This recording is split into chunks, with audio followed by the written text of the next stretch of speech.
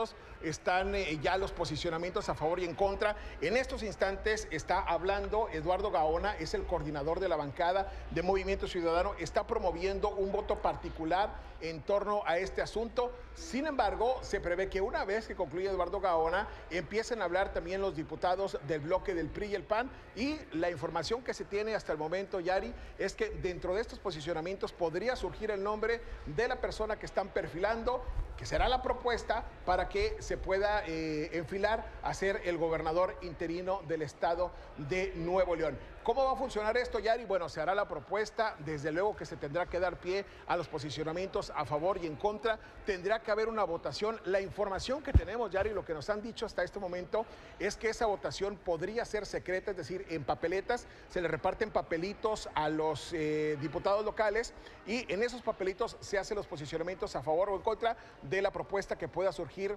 en determinado momento. Si esa propuesta reúne 22 votos, Yari, esa propuesta entonces sería designado como gobernador interino. ¿Qué ocurriría? Bueno, se le tendría que mandar a hablar, se le tendría que tomar protesta, se tendría que hacer todo este movimiento. ¿Cuándo entraría? Bueno, esto también es importante señalarlo.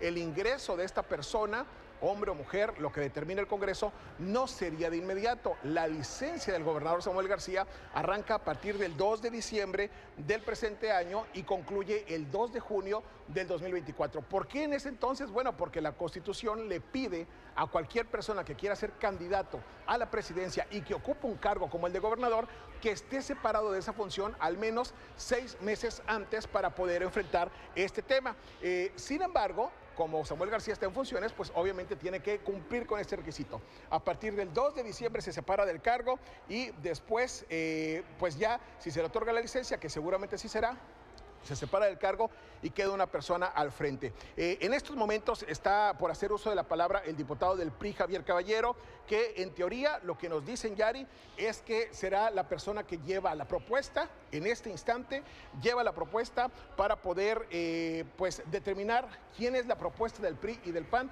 para quedarse como gobernador interino. La información que tenemos es que hay ya un hombre en cartera, hay un hombre que ya están perfilando y que en unos momentos más ya estaremos en posición de darlo a conocer. Pero eh, por lo pronto, Yari, lo que se sabe es esto, que en unos momentos más Javier Caballero dirá quién es la propuesta para poder ocupar el interinato de Samuel García una vez que se, concrete esta licencia. Es cuestión de instantes, Yari. Eh, ya estamos monitoreando desde el Congreso del Estado este discurso que va a pronunciar en unos momentos Javier Caballero y hay algunos nombres que se están manejando. Bueno, ya tenemos la información, Yari, eh, ya podemos decirlo. Eh, la información que tenemos es que Javier Caballero va a presentar la propuesta de Arturo Salinas Garza, actual presidente del Poder Judicial, para quedar como gobernador interino del estado de Nuevo León. Este hombre que estamos viendo en pantalla en estos momentos, Arturo Salinas Garza, es la propuesta que se va a presentar para que se quede como gobernador interino del estado y obviamente tendrá que ser votado por los diputados locales. Vamos a ver qué es lo que ocurre. Sabemos que eh, pues reúne los votos suficientes por parte del PRI y del PAN, pero seguramente también Movimiento Ciudadano querrá hacer algún señalamiento en este sentido. Es Arturo Salinas Garza. Vamos a ver cómo se desarrolla la sesión en unos momentos más. Hay que estar muy al pendiente. Eh, es información importante. Obviamente, esa persona, Arturo Salinas Garza, al reunir los votos, podría asumir como gobernador interino. También habrá que estar al pendiente de cuál es la respuesta que tiene el gobierno del Estado sobre esta situación. Eh, de hecho, sabemos que la intención de Arturo Salinas Garza, una vez que se llegue a concretar, primero que nada, tendrá que pedir licencia como presidente del Poder Judicial, tendrá que dejar el cargo de Poder Judicial eh, y posteriormente ya asumir ahora sí como gobernador interino. Quedará un periodo, Yari, si esto insisto, eh, quiero ser muy claro, si se llega a concretar este tema, si se llega a concretar este asunto, eh, eh, quedarán estas semanas en el aire en donde Samuel García todavía será gobernador y lo que se esperaría es que pudiera haber un diálogo entre las partes para poder llegar a algunos acuerdos de cara a lo que será este interinato. Hay que recordar que Arturo Salinas ya tiene camino recorrido, ha sido diputado local, ha sido diputado federal, tenía una militancia en el Partido Acción Nacional, evidentemente la tuvo que dejar de lado cuando asumió como presidente, primero como magistrado del Poder Judicial y posteriormente como presidente. Él se encuentra en estos momentos en funciones, necesita renunciar al cargo de presidente del Tribunal Superior de Justicia y Poder Judicial para poder enfrentar esta nueva encomienda, pero la información que tenemos es esa, se está proponiendo.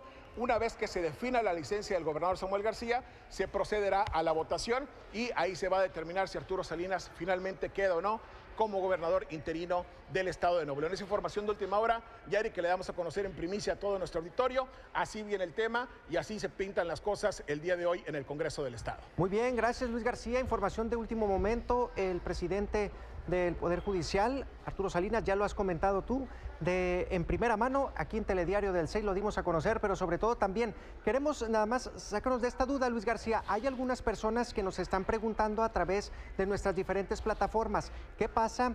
Porque el próximo sábado 28 de octubre es el informe de gobierno, el segundo informe de gobierno está programado por ahí de las 11 de la mañana. A pesar de ello, sería el gobernador del estado, Samuel García Sepúlveda, quien lo llevaría a cabo.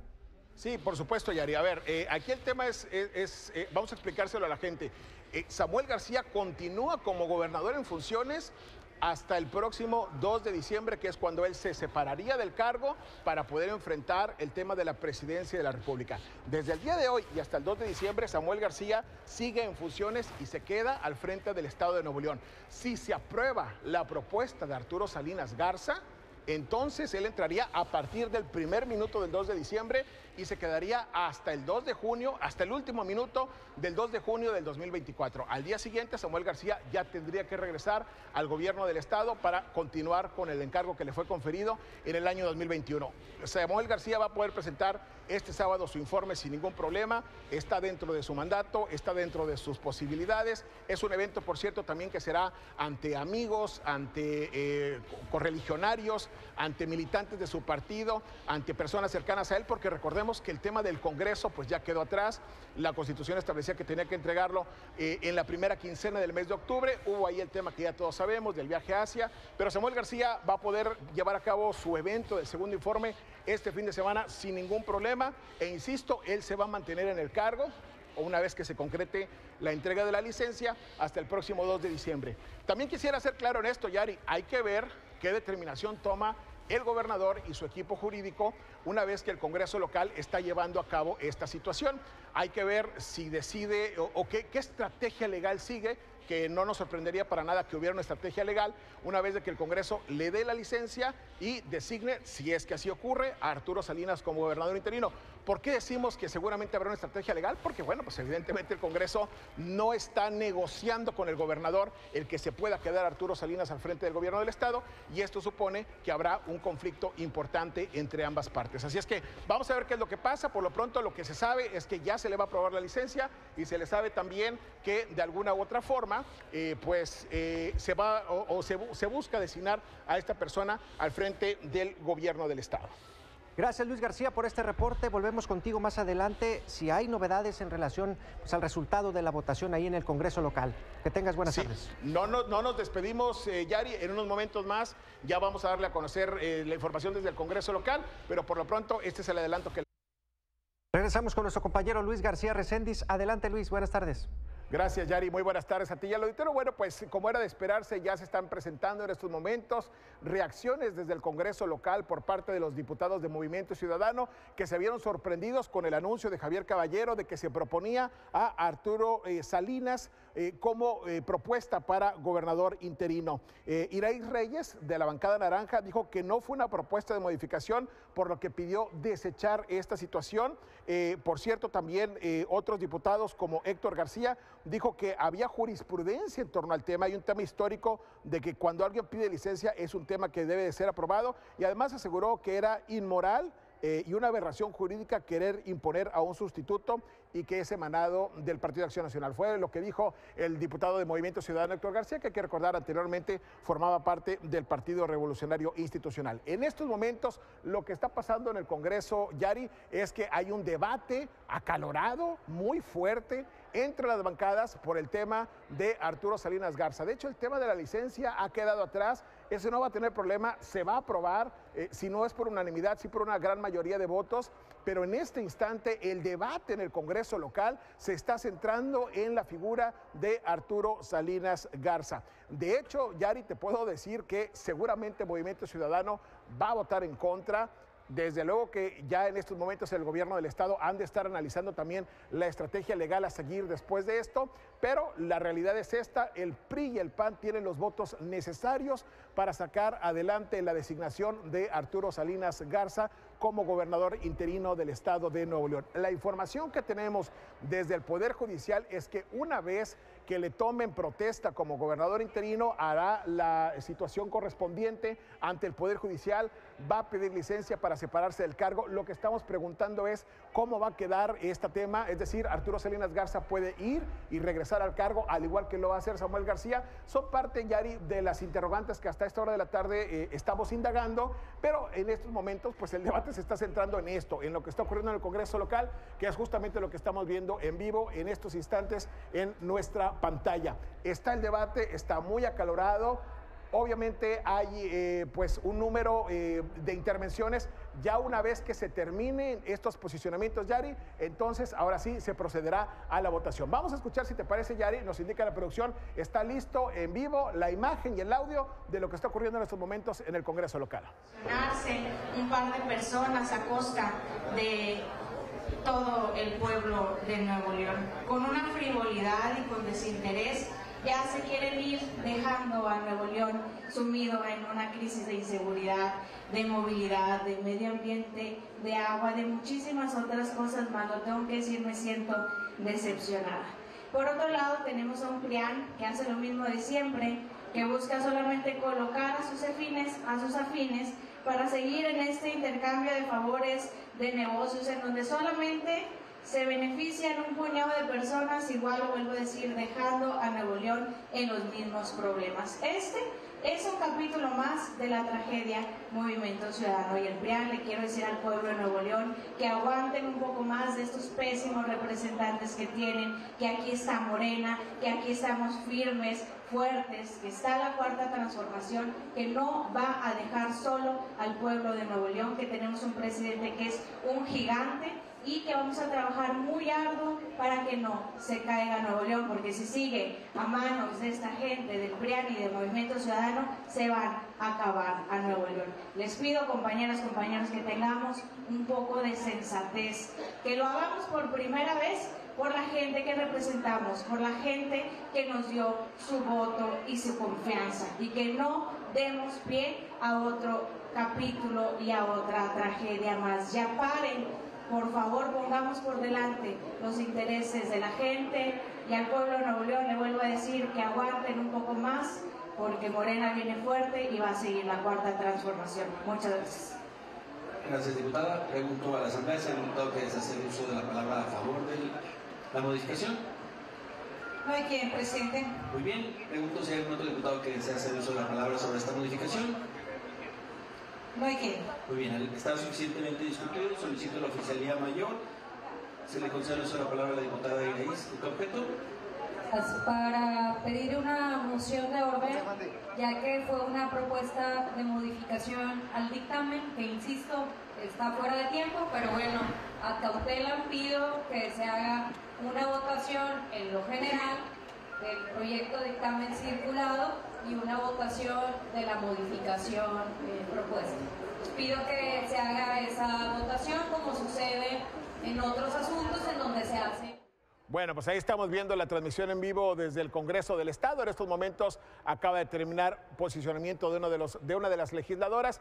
Están viendo si hay más posicionamientos a favor o en contra de la medida y si no es así, se va a proceder a la votación. ¿La votación de qué? De la licencia y de la designación de Arturo Salinas como gobernador interino. Hay en estos momentos versiones al interior del Congreso local de que podría ser llamado a tomar protesta Arturo Salinas Garza. Vamos a ver si tal cosa ocurre. Vamos a ver si tal cosa ocurre porque, pues también hay que decirlo, eh, pues eh, tendría que revisarse el tema legal. Si les parece, vamos a regresar en vivo con lo que está pasando en estos momentos desde el Congreso del Estado.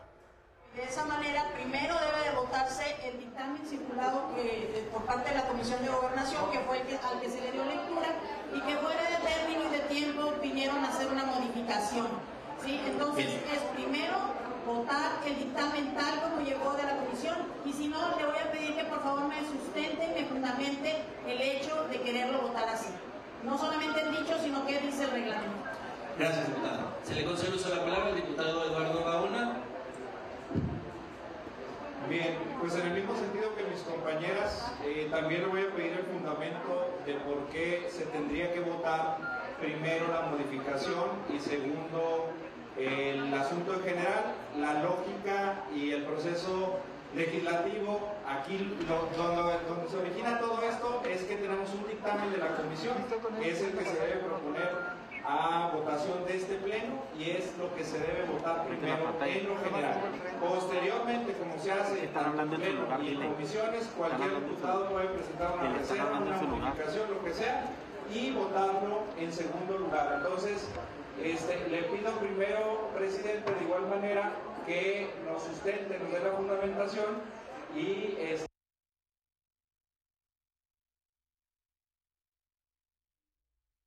Estábamos escuchando en estos momentos eh, la sesión que se lleva a cabo ahí en el Congreso local. Estaba hablando el diputado Eduardo Gaona de Movimiento Ciudadano, dando su postura en relación a este tema. Y también escuchábamos hace algunos minutos a la diputada Anilú Bendición presentando también su posicionamiento, eh, diputada de Morena. Recordemos, si apenas nos está sintonizando, amigos del teleauditorio, que la Comisión de Gobernación aprobó por mayoría ya la licencia del gobernador del estado, Samuel García Sepúlveda esta situación para separarse del cargo por un periodo de seis meses a partir del próximo 2 de diciembre del 2023 al 2 de junio del 2024. Esta licencia se aprobó eh, a pesar de que el mandatario estatal, recordemos, no contestó en un plazo de 24 horas una nota aclaratoria. Regresamos a la sesión en estos momentos la modificación presentada por el diputado Javier Caballero al acuerdo presentado por la Comisión de Gobernación.